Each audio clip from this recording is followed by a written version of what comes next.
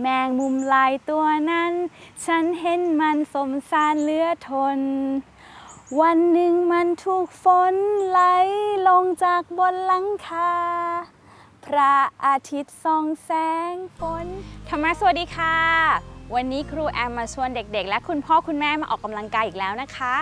ให้เรามีกายเคลื่อนไหวใจตั้งมั่นไปด้วยกัน วันนี้เป็นบทเพลงแมงมุมลายตัวน้อยนะคะ แต่ว่าเป็นเวอร์ชันภาษาอังกฤษค่ะ แอบมือก่อนนะคะอืมออกกำลังกายมือ แมงมุมตัวที่หนึ่งแมงมุมตัวที่สองจากนั้นให้หัดทวิสต์มือนะคะ เปลี่ยนมือชึดึบชึดึบชึดึบชึดึบชึดึบจากนั้นยืดมือให้สุดเลยค่ะ โบกมือเอื้อมมือมาแตะปลายเท้า แล้วยืดตัวขึ้นนะคะ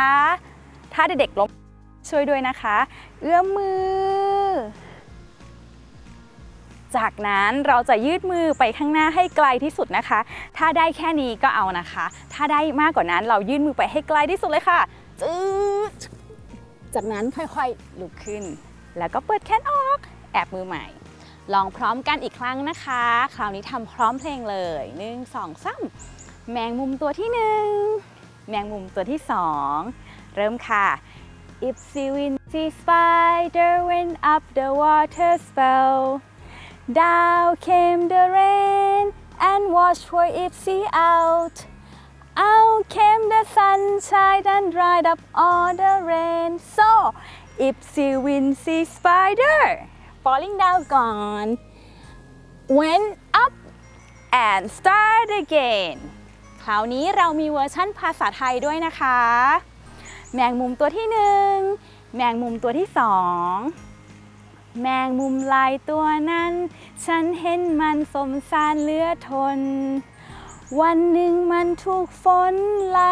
ลงจากบนหลังคา พระอาทิตย์ส่องแสงฝน